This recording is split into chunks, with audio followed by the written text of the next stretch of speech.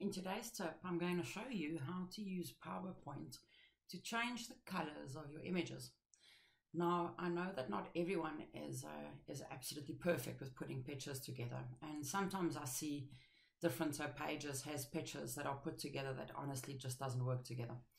I won't say that these are so unsuited, but uh, they're not great. So that in this example that you can have a look at here, um, I've used five images and all I've done is I've inserted um, just a screenshot of my intranet in the background so that I can kind of see how my Hero web part's going to look. And these are just loose images that I've packed in here to kind of plan the layout for my Hero web part and to also see if the images are going to look um, okay together. So something that I've uh, used before that helps me to um, put like really crazy images together and then it works and that uh, helps to build a theme is to actually take the images. So if I look at these different types of images. Some of these are photos and some of these are actually some art, right? So um, at the moment, I've just grouped these images. And what I'm going to do is I'm going to go to the format toolbar and you'll see that under pictures, you can actually change the colors of your images.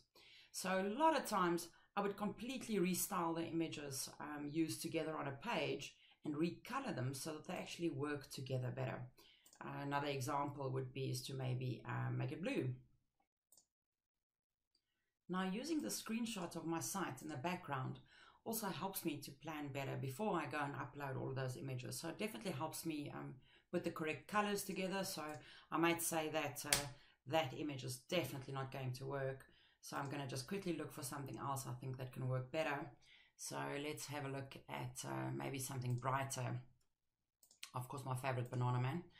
So um, all I then do is in, uh, in PowerPoint, of course, while I'm doing my planning, is that I'll just uh, make it a bit smaller. And in this uh, image, I've actually put borders around it um, to simulate what uh, what SharePoint does with the images. So I just put a little bit of a border around it. But now I can have a look and say, yeah, I think that's uh, that's going to look easier. And I, and I promise you, it's much easier for me to plan um, my images just right here in PowerPoint than it is to go and upload everything on SharePoint first and then to try and test out and see how those images work. So of course the same uh, here applies. If I then look at this and I think, yeah, this is going to get too bright or too crazy. So I can even color style it according to an image that's or a color that's already used. So I can use the eyedropper and say, I want to um, pick it so that it's uh, similar to that yellow color that's on my site and see how that, uh, I'm not saying this is a perfect website, but see how that actually makes a difference and allows us to put uh, really crazy images together. That doesn't always work together, but it allows you to also build a theme or a style for your site to actually help um, you do that.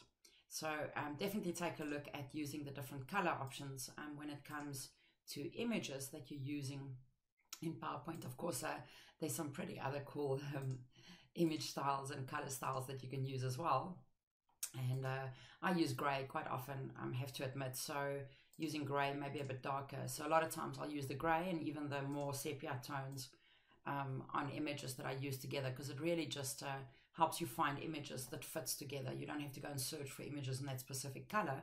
You can actually change your own colors on the images in PowerPoint.